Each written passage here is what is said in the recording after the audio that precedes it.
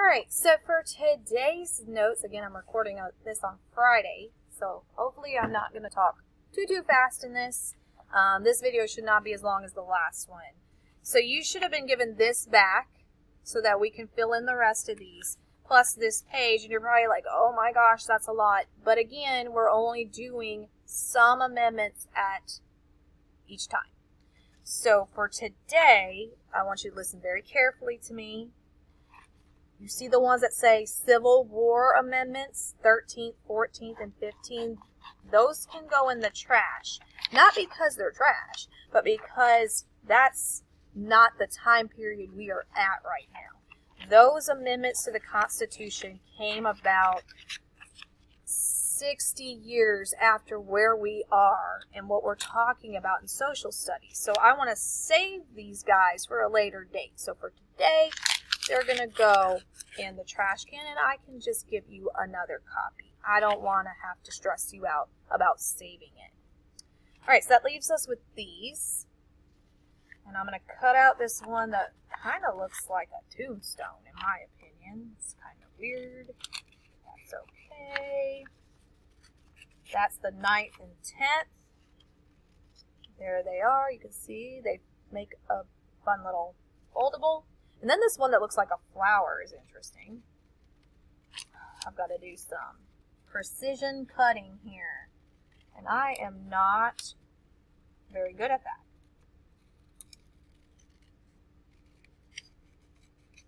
It's a pretty looking flower though. Oh, not after I've finished cutting it. So I am trying to think of a question today, and based on the last video, I've had some ideas of what that So you might be suspicious about what I'm to ask. Alright, what do I do with my glue stick? What do I do with my glue stick? Probably, yep, put it right here. So I am to paste both of these down, but today we're only to do some of them. So I'm to put the glue on the back of the limited government amendments part. That'll allow me to flip those two bottom ones up without issue. And I guess what we'll do is we'll just um, paste under this pentagon here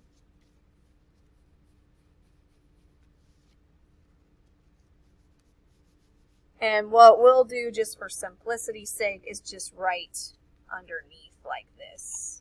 So we'll just flip it up and right underneath of it as we need to. Alright.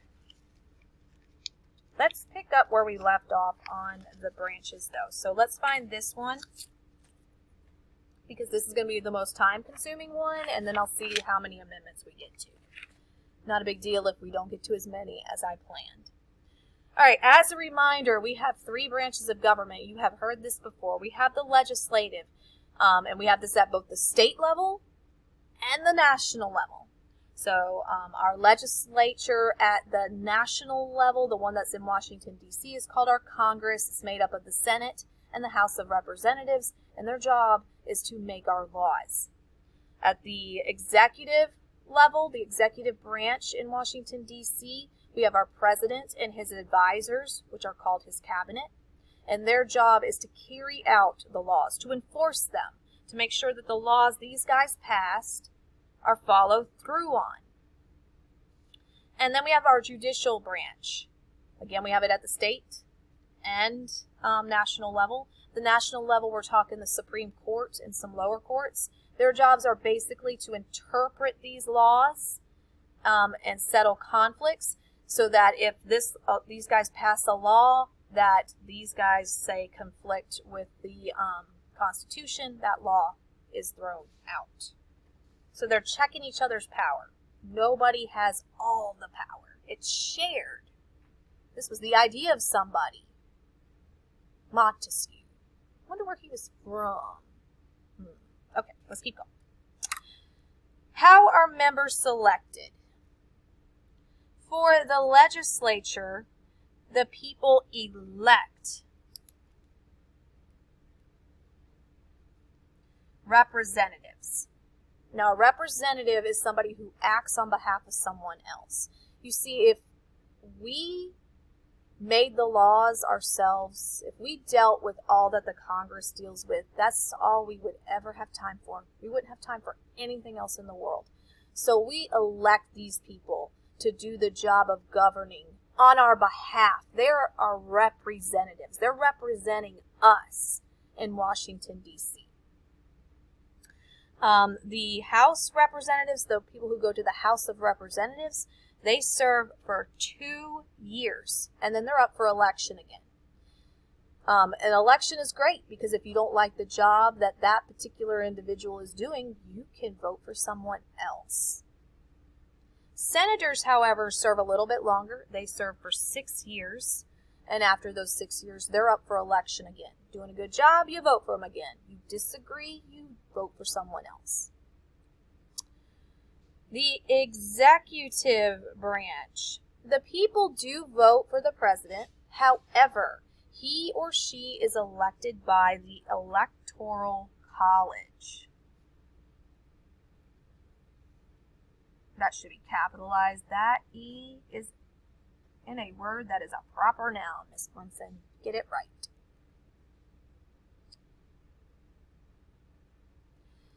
Um, the cabinet, those advisors who help the president make his decisions, are appointed. That means suggested by the president. He picks them. However, they have to be approved by the Senate. The Senate confirms them. So again, that's that check on power. Yes, he picks, he or she picks them, his, his or her advisors, but the Senate has to agree um, with those decisions. Judges are appointed by the president. Again, he's picking them. And then confirmed by the Senate. The Senate has to give their stamp of approval on these advisors for the president and these judges. So again, the power is not all in one person's hands, it's shared. They serve for life.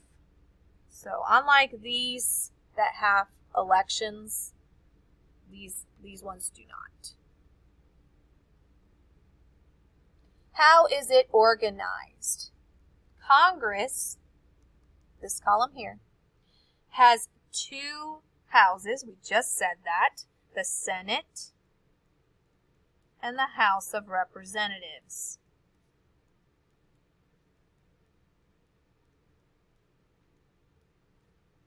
Each state has two senators. Um, when you turn 18 and you go to the polling booth, you will vote for your senators. The House of Representatives, this number is determined by the population in each state. So states that have higher numbers of people have more representatives in the House of Representatives. North Carolina has a pretty large population, so we have quite a few representatives. However, this is important for you to know, you will only vote for a representative for your area. You will not vote for all the representatives for North Carolina. There's one representative who represents Pamlico County and the surrounding areas, and that's the representative we vote for on election day every two years. The president, moving on to the executive branch, is given advice by his or her cabinet.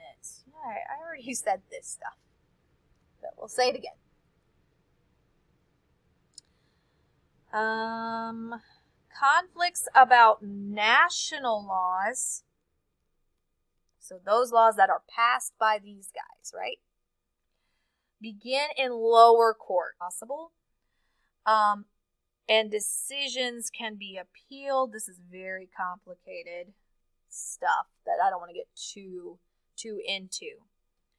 Um, so basically, if these lower courts can't solve the dilemma and it gets appealed, so the people involved are like, yeah, we don't like this decision. We want someone else to look at it.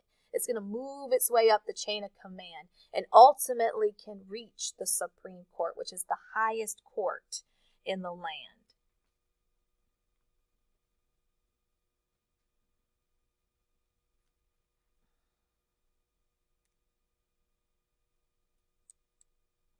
What power does it have over laws? Not going to spend a lot of time on that. Just know there's a lot of courts and that there's a hierarchy, that you have some courts that are um, dealing with it first, and if no resolution can be had, then it's going to go to another level and it's just going to keep going up. Like you're moving up in management, so to speak. First, you deal with someone who's just a regular worker, but if they can't solve your problem, you take it to their boss and so on. Similar, not exact, but a similar idea.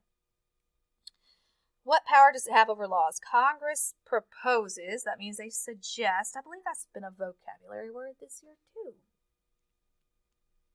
Congress proposes and passes laws. So they come up with the idea of a law and then they pass it. They say, yes, this is going to be a law. Then the president is going to enforce this law. And so he can get the law and be like, uh, no, I'm not signing this law into effect. So then the president can veto it. That means, uh uh-uh, uh, no. Mm-mm. Or pass the bill into law. So either pretty much goes with a yes on the law or no on the law. Um, however, the judicial branch can step in if they find this law violates the Constitution and therefore our rights as American citizens, it can declare a law unconstitutional.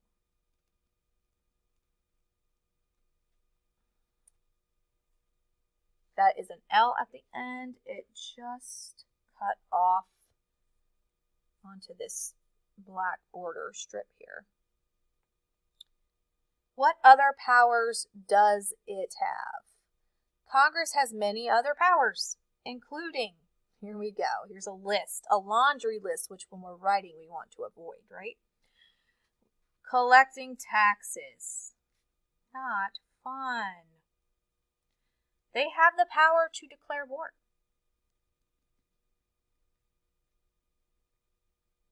They have the power to control trade with other countries.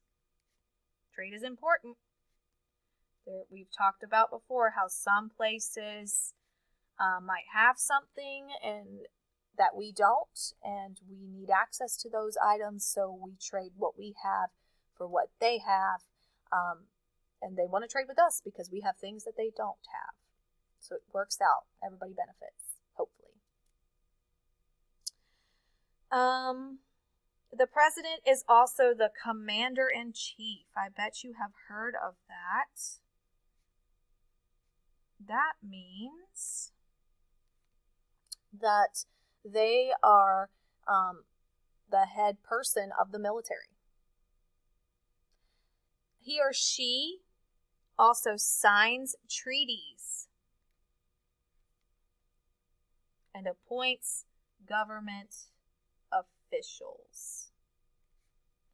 Um, signing treaties, that would be like um, not just necessarily over war, but you can make agreements with other countries and they say, yes, we're going to do these things for each other.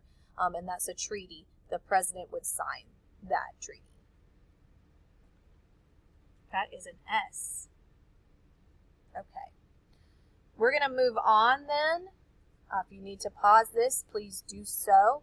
We're going to move on then to whatever amendments we can get done in the remaining time. Go ahead and grab your flower amendment foldable, foldable and the one that, um, I don't know, looks like a door as well, like a door with a canopy. Okay.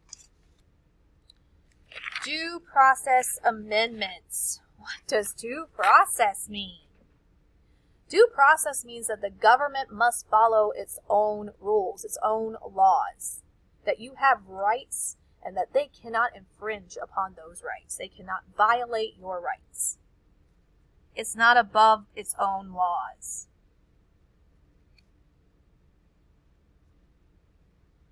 Again, this is a radical idea for the time.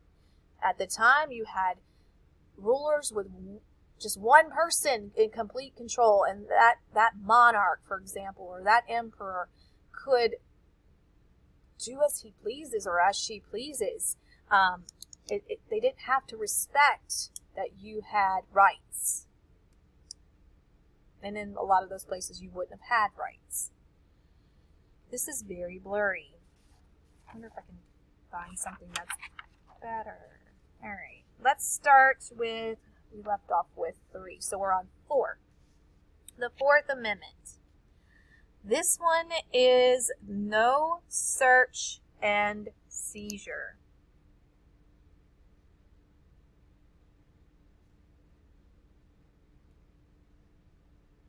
And this is not seizure like the medical seizure. This means to seize something, to take it. To take it without the other person's consent.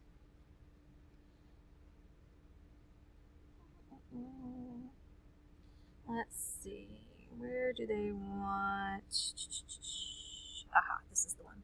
So under our little flappy, we're going to write the government must have a specific reason. They must be justified to search or take away. Remember, seizure, seize means to take a person's property.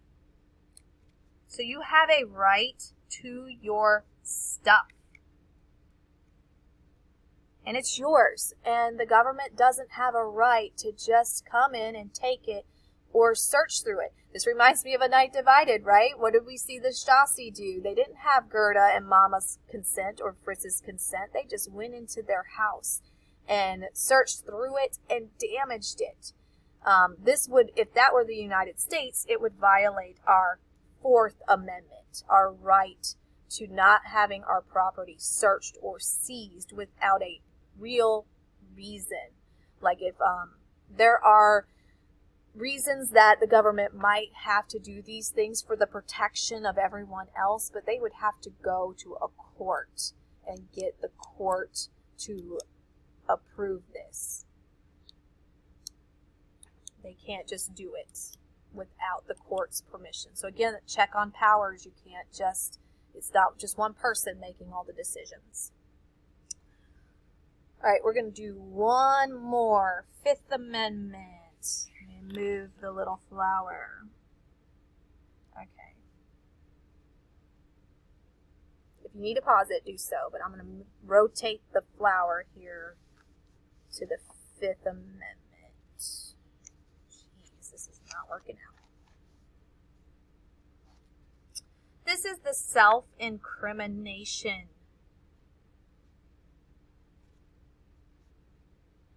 amendment.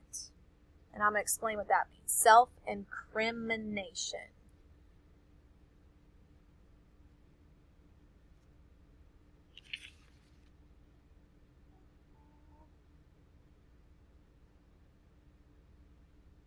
And what this means, we're going to write underneath of it, is a person, meaning you or me, okay,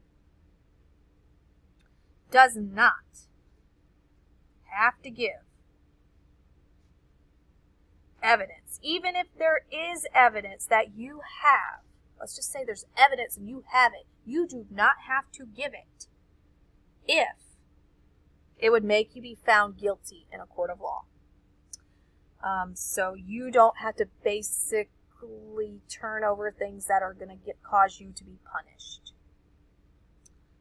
Um, where am I at? That would make him or her guilty. All right, I do have a secret um, word or question. I am going to put it here at the end because the computer is being difficult, not letting me insert stuff in the middle of the video for some reason. Um, so I want you to think about Montesquieu, the guy who came up with this idea of sharing the power, distributing the power, so that's not concentrated into one person's hands. What country did he come from? Write that somewhere on your three branches of government notes, not these, not your amendments, but this one, right? Because he's the three branches guy. I call Montesquieu the three branches guy. He's the guy who came up with this concept of making power be split up and not held in one person's hands. So it makes sense to put it with the notes that go with it. What country was Montesquieu from? Write that somewhere on this sheet. Make sure your name is on it. Put it in the basket. Once again, this video is top 20 minutes, and I am so, so, so sorry. All right. Thank you very much.